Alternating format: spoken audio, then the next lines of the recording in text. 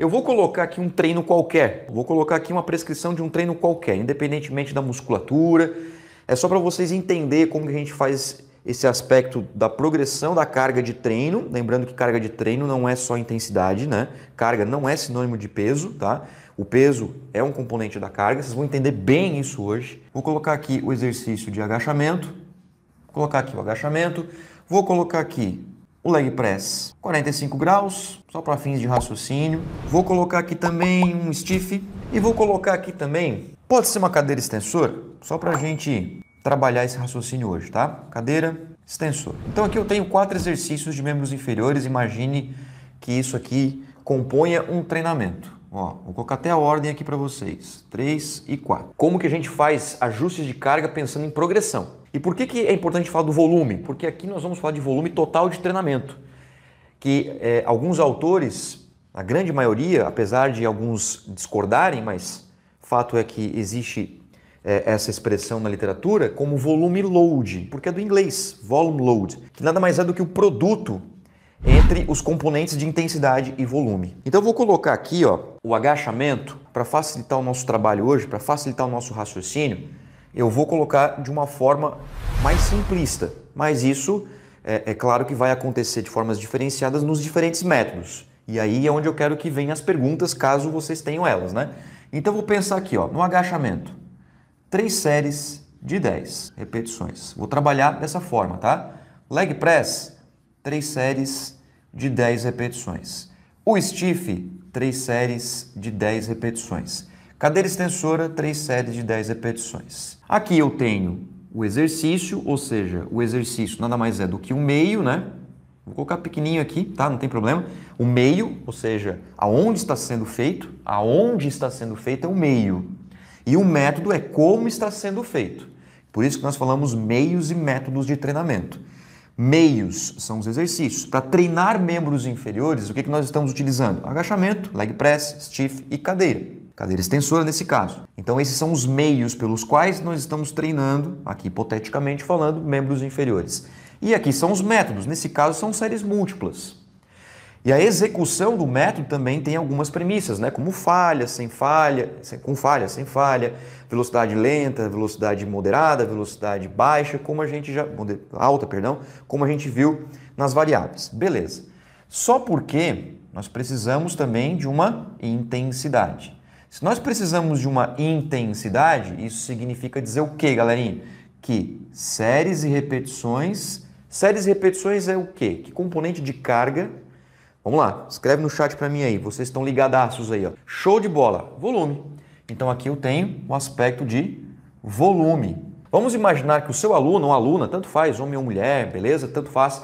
Vamos pensar aqui, ó, que aqui o seu aluno tenha feito com 20 quilogramas. Tudo. Contando barra, contando anilhas, está 20 quilos. Bem de boa, bem tranquilo.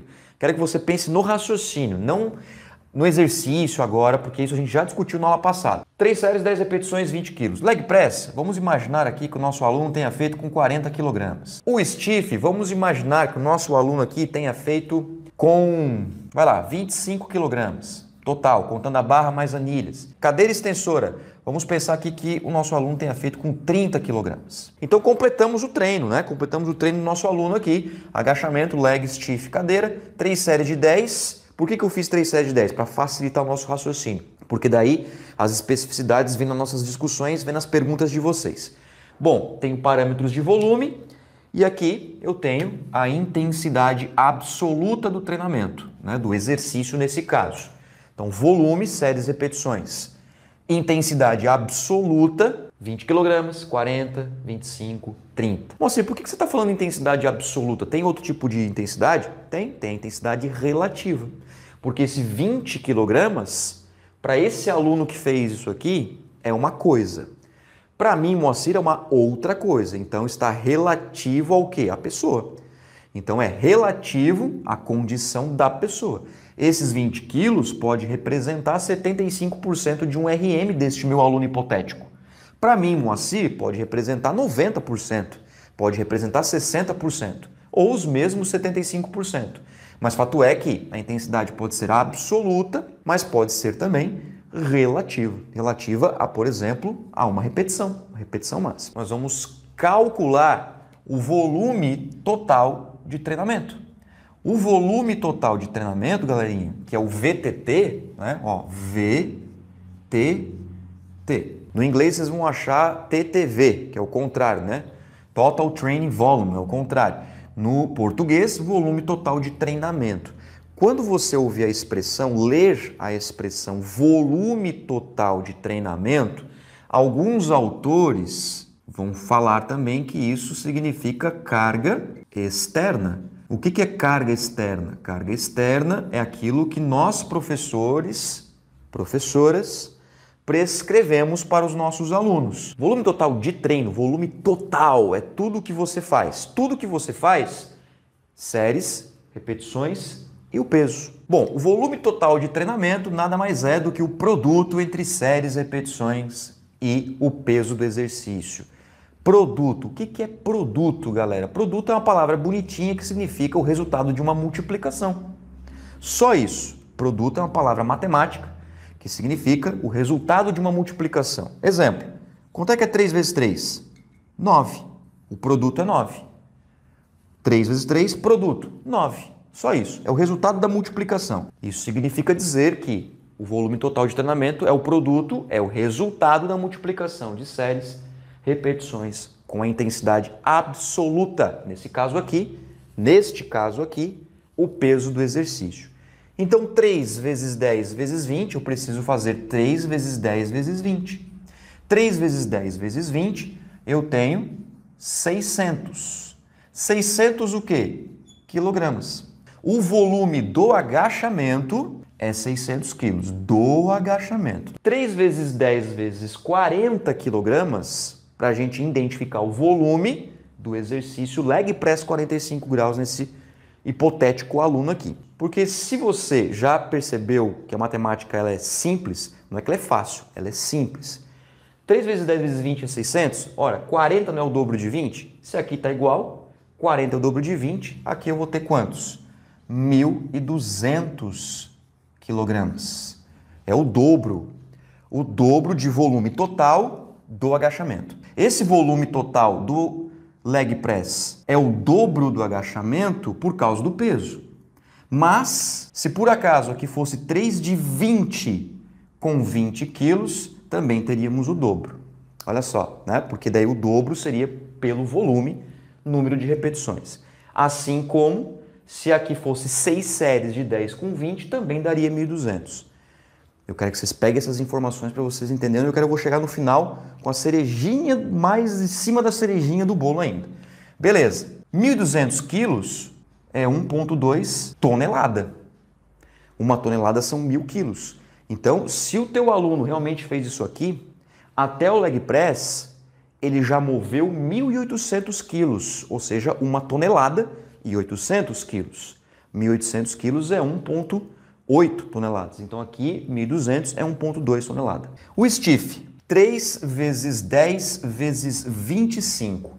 Quanto é que vai dar essa brincadeira aí? 3 vezes 10 vezes 25 quilogramas. 750 quilogramas.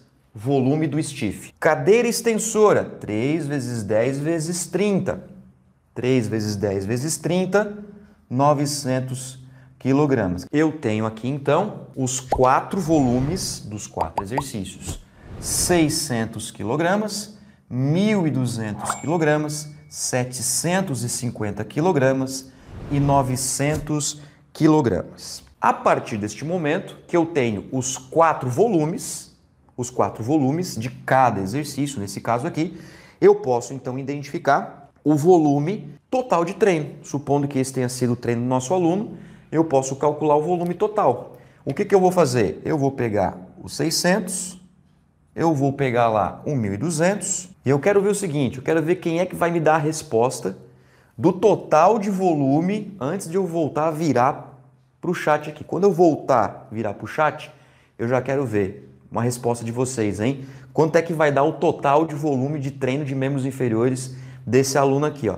600, 1.200, 750 quilogramas do stiff e mais 900 quilogramas. Aqui foi o agachamento, aqui foi o leg press, aqui foi o stiff e aqui foi a cadeira extensora. Quanto que vai dar o volume total de treinamento de membros inferiores?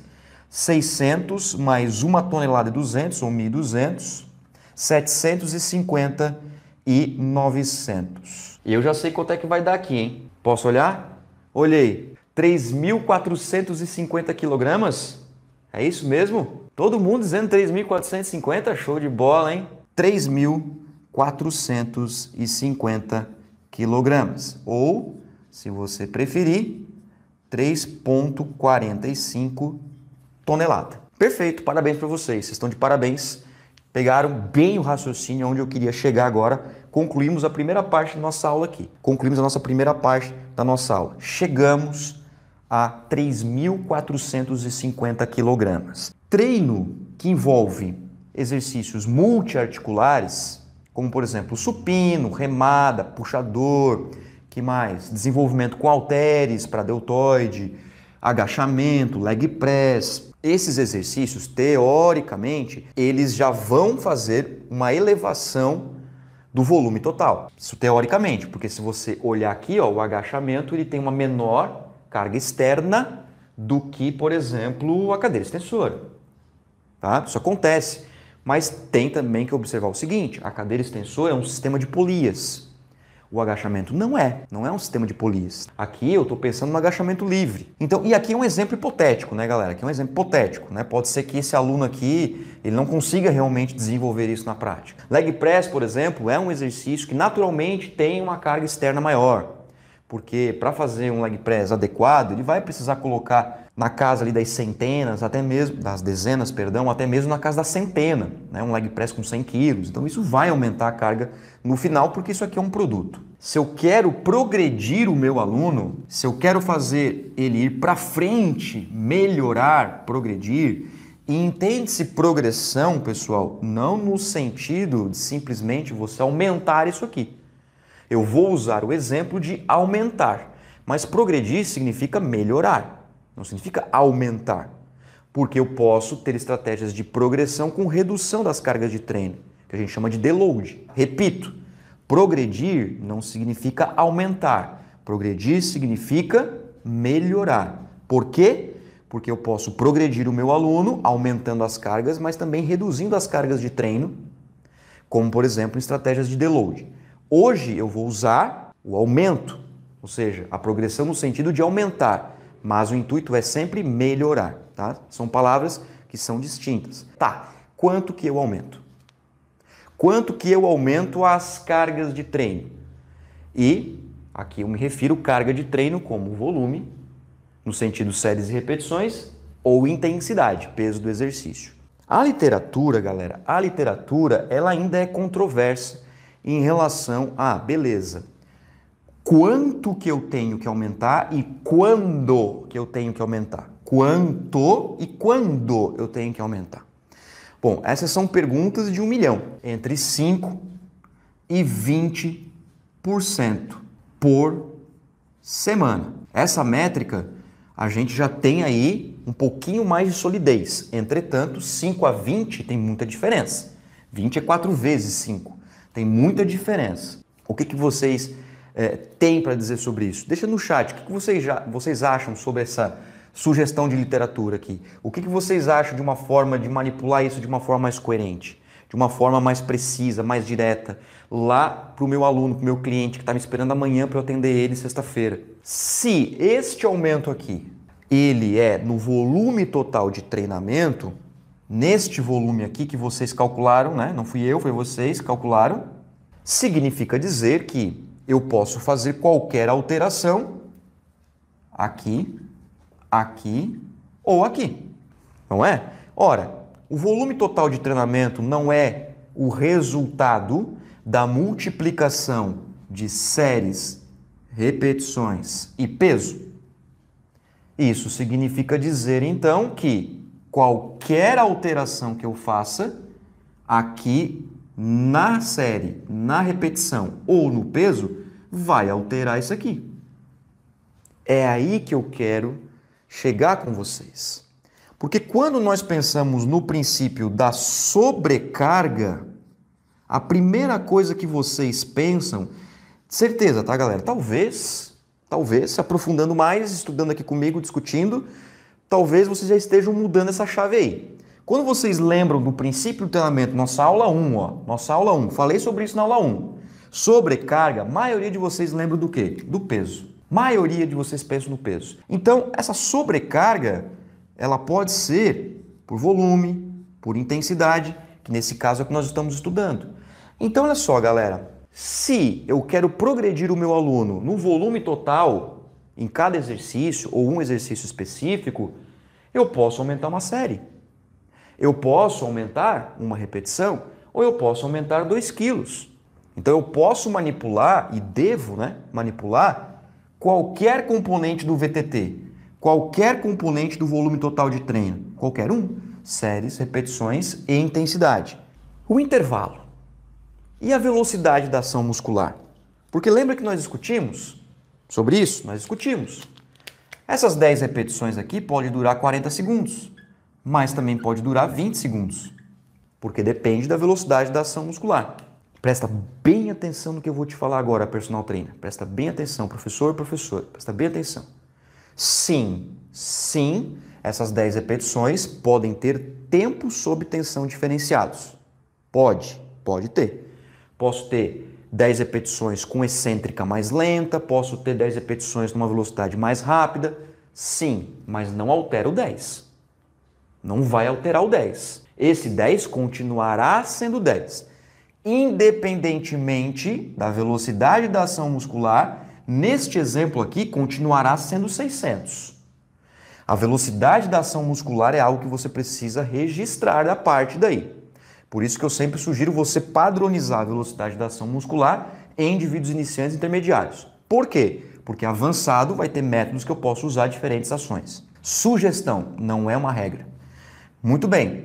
Então, se aqui o aluno fizer 10 repetições, 3 segundos excêntrica, 1 segundo concêntrica, ou 1 segundo concêntrica, 1 segundo excêntrica, independentemente da velocidade, continuará sendo 10. Então, não altere esse valor. Segunda coisa, o intervalo entre as séries, uma outra variável de manipulação no treinamento de força. Aqui poderia ser um minuto de intervalo, mas poderia ser três minutos de intervalo. Sim, poderia.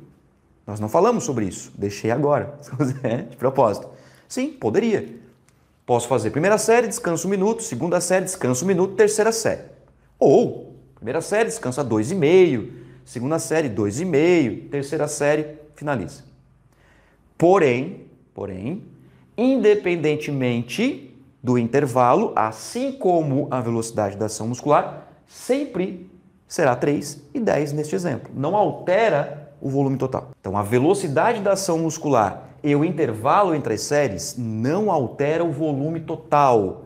O que, que vai alterar? A velocidade da ação muscular e o intervalo entre as séries altera a percepção subjetiva de esforço. Isso sim. Isso altera. Tá bom? Então, para ter alteração direta no volume, total, eu preciso alterar o quê? Os componentes diretos, séries, repetições e peso. Se eu quero alterar a percepção subjetiva de esforço, eu manipulo o quê? Eu manipulo o intervalo e velocidade da ação muscular. Tá vendo por que é importante estudar as variáveis? Tá vendo que é importante estudar os princípios do treinamento, sobrecarga, individualidade biológica, adaptação, etc, etc, para fazer tudo sentido conforme a gente vai avançando, progredindo, né? melhorando nos conteúdos. E você quer progredir 20%. 20% em torno de 20%, né? Então tem algumas estratégias que a gente sugere para tornar essa progressão mais palpável e também que você consiga fazer isso com a sua demanda. Nós trabalhamos geralmente aí num contexto geral, claro que isso também não é uma regra e nem deve ser, num contexto geral, a gente gosta de trabalhar ali entre 6 e 15. Até inclusive o artigo do Iverson, de 2019, que, que lançou um artigo sobre a musculação time efficient, para tornar o treino eficiente na musculação, ele sugere entre 6 e 15 repetições. Se passar de 15, usa falha muscular se for indivíduos intermediários para frente, né? exceto iniciante. Né? Nesse caso, iniciante não deve ir até a falha, pelo menos não é sugerido até a falha. É claro que tem estratégias que você pode ensinar o aluno a entender a falha, pelo menos a falha técnica, né? e não a falha total. A falha total é, na musculação nem é sugerido. É até feio a falha total na musculação, deixa mais para o esporte coletivo isso, né? Ou individual, como atletismo. Caso de maratona isso acontece. E é o seguinte, ó, tá? 20%. Vamos pegar uma ideia bem legal?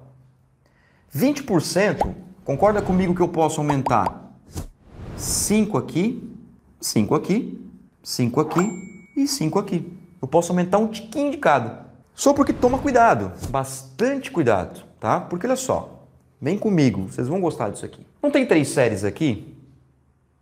Tem três séries. Presta bem atenção no que eu quero mostrar para vocês. Séries, repetições, galera, séries e repetições. Abre a tua cabeça. Abre a tua cabeça. Para de dizer que, ah, eu não gosto de números, professor. Para com isso. A primeira coisa que você faz quando você acorda é pegar o teu celular ou olhar para o teu relógio. O que, que tem ali? Números. Quanto é que você ganha por mês? Tantos reais com tantos centavos. Números. Quantos quilômetros por litro roda a tua moto? Números. Então para com esse negócio que você não gosta de número. Para com isso. Vem comigo. Séries e repetições são variáveis que nós chamamos de variáveis discretas. O que, que significa isso? Que ela não tem vírgula. Não existe meia série, não existe meia repetição. Na estatística, na matemática, nas ciências exatas, isso não existe. Ou é uma série, duas séries, três séries, quatro séries. 5, 6 e 5. A natureza da variável é discreta. A mesma coisa acontece com o número de pessoas. Não existe meia pessoa, o princípio é o mesmo, tá? Não existe 0,7 pessoa. Não existe 0,85 pessoa. Aqui é uma variável discreta. Só pode ter números inteiros. Você já viu alguém para escrever 4 séries e meia de 11,3 repetições? Então, se esse raciocínio ele é verdadeiro e é verdadeiro, quando eu falo que ah, eu treino uma série de peito e é considerado meia série para tríceps, não existe, cara. Nem faz sentido na matemática isso. Não faz sentido na estatística meia série. Tá, então faz duas séries e meia. Ah, faz 10 repetições e a outra série faz 5 repetições. Eu já ouvi isso, tá? Eu já ouvi isso. Eu comentei isso lá num curso lá no Mato Grosso do Sul. 2,5 séries. Aí o camarada me respondeu: Ah, duas séries de 10 e uma série de 5. Não, tá de sacanagem comigo, né? Não, aí eu fiquei. Não, duas séries de 10 e, uma, e meia série de 5 não existe. O que você tem é duas séries de 10 e uma série de 5. Três séries: 10, 10, 5. É, é, chega a ser absurdo, absurdo, ab, absurdo, tá? A nossa área tá um absurdo, algumas coisas, né? E aí a gente tem que bater em cima pro cara, mas não fazer asneira, tá? Me desculpe falar. Então, galerinha, retornando aqui, ó. 3 e 10. Se você aumentar uma série, se você aumentar uma série, você sai de 3 para 4.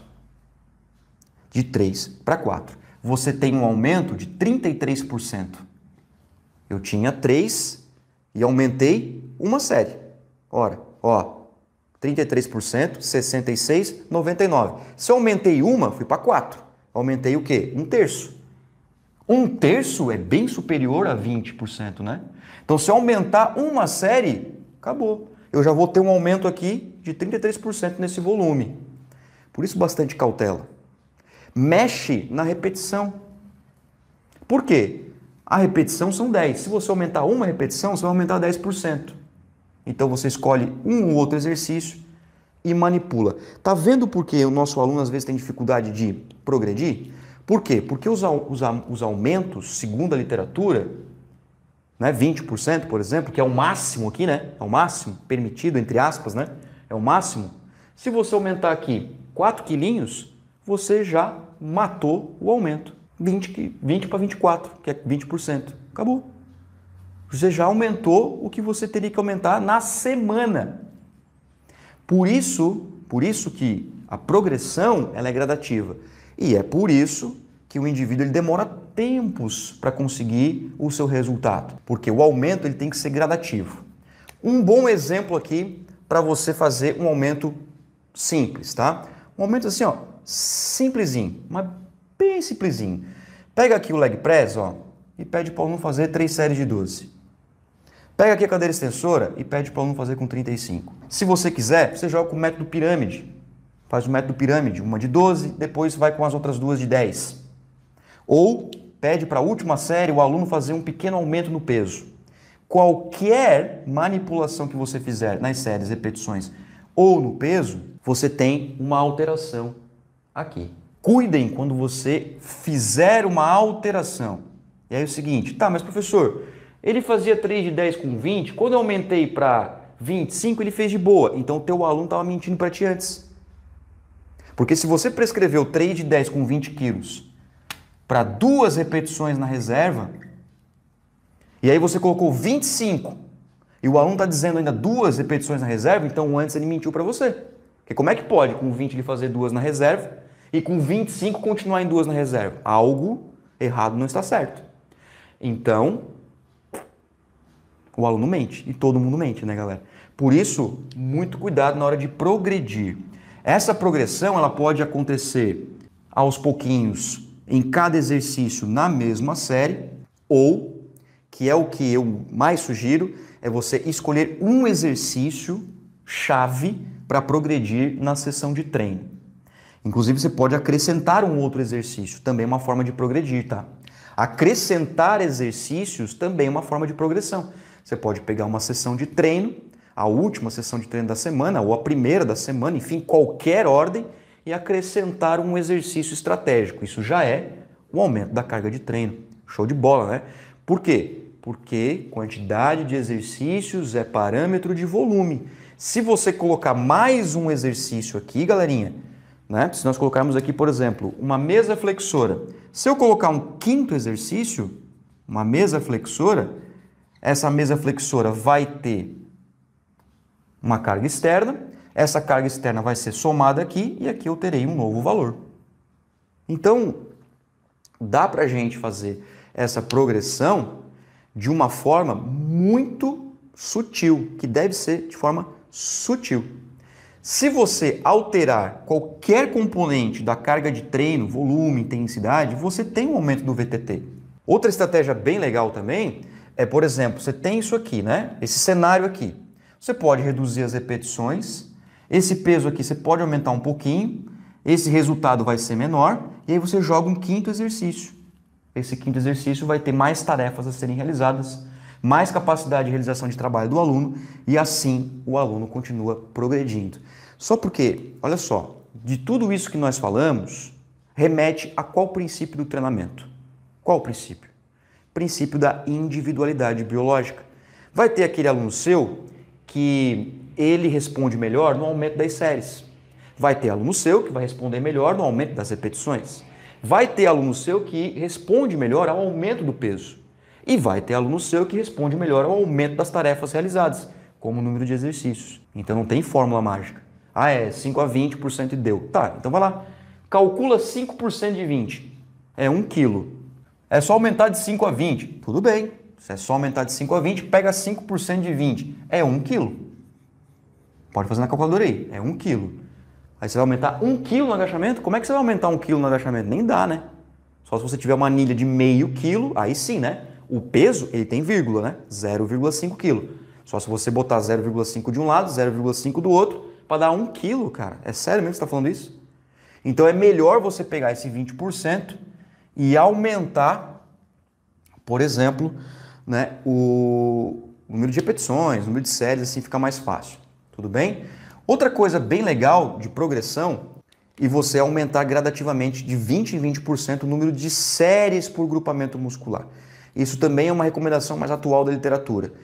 Ou seja, se você faz 10 séries, seu aluno, né? Ou você também, pode ser que você treine, né? Por grupamento muscular, em uma semana, você aumenta até 20%, que nesse caso aqui dá 12 séries. Então você trabalha com as séries por grupamento muscular. Eu acho muito mais fácil na minha opinião, até para quem continua dizendo que não gosta de números, tudo bem, muito mais fácil do que você manipular tudo isso aqui. Joga com o número de séries. É muito mais fácil para você, professor. Muito mais fácil para você, professora.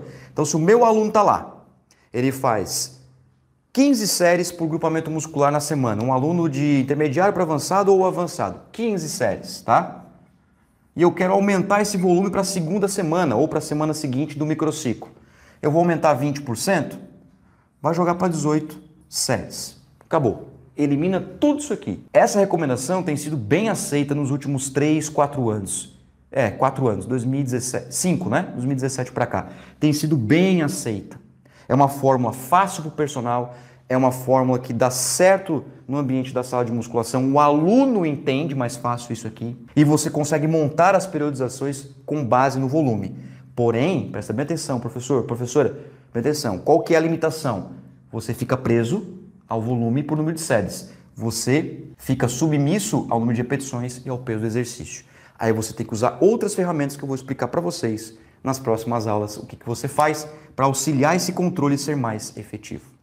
Mas posso mexer na repetição? Pode, posso fazer 3 de 12. Só que daí eu aumento o número de séries e também o número de repetições.